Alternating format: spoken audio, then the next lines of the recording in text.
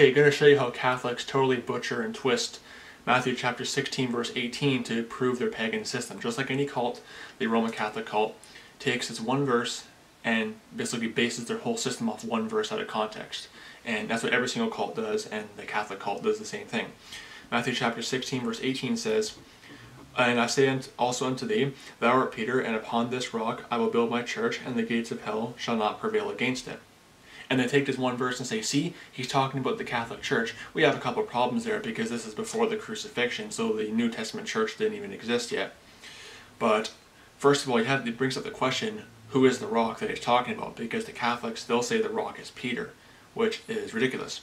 By comparing Scripture with Scripture, we'll clearly see the rock is not Peter, but the rock is actually God, Jesus Christ.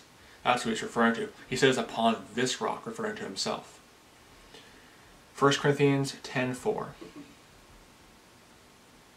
1 Corinthians 10.4. And did all drink the same spiritual drink? For they drank of that spiritual rock that followed them, and that rock was Christ. So who is the rock? It's Jesus Christ. Ephesians 2, 19 to 20.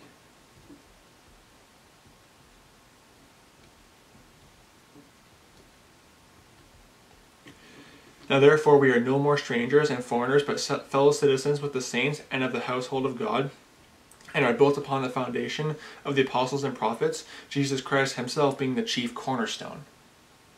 So again, who is the rock? It's Jesus Christ, it's not Peter. And in fact, it's actually ironic because there are verses where Peter calls Jesus Christ the rock. Because in one of these verses, Jesus Christ is called the rock by Peter. So if Peter's the rock, why is he calling Jesus Christ the rock? It's ridiculous. Deuteronomy 32, 3 to 4. Here are references to God the Father being the rock. Deuteronomy 23, or 32, sorry, verses 3 to 4. Because I will publish the name of the Lord, ascribe ye greatness unto our God. He is the rock, his work is perfect, perfect, for all his ways are, ju are judgment, a God of truth and without iniquity, just and right is he. So God is the rock. He is the rock. It says that plainly.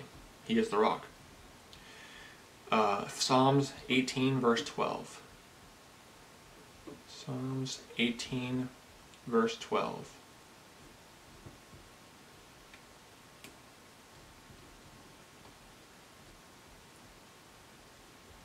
Or sorry, it was Psalms 18, verse 2. Sorry, not verse 12. My bad. Psalms 18, 2.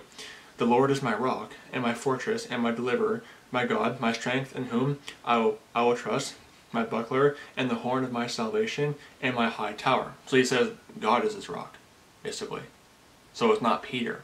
Peter's never once called the rock. When Jesus says, upon this rock, I mentioned this, mentioned this earlier, upon this rock is in reference to himself. It's basically referring to himself. It's not referring to Peter, because Peter calls Jesus Christ the rock in different verses.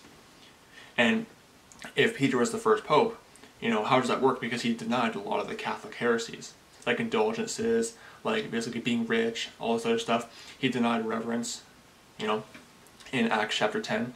So Peter was not the first pope, and Jesus Christ is the rock, not Peter. So just another Catholic scripture and, and just heresy that they totally have the twist and, and just they'll take scriptures out of context and just totally twist and they won't compare scripture with scripture like we're commanded to. They'll just take one verse out of context and basically base their whole system off that. So don't be deceived by Roman Catholicism. It is pagan, it is satanic, it's just pagan Roman religion masquerading as Bible-believing Christianity. May the grace of our Lord Jesus Christ be with all the brethren. Goodbye.